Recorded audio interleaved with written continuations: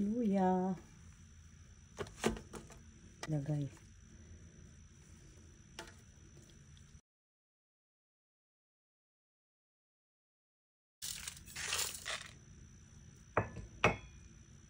Lagyan ko po ng laurel.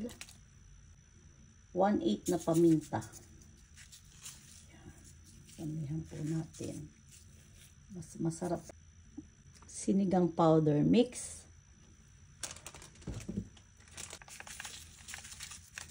Ito po ang pangpaasim natin.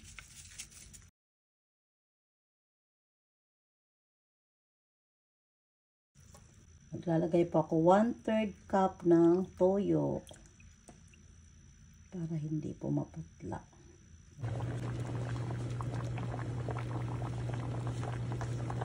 Mga bula-bula. Ayan. Tingnan po natin.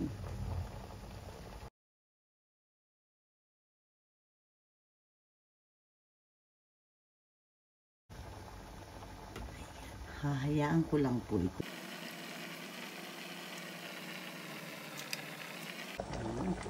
Lagay ko po itong sili. Ayan na po.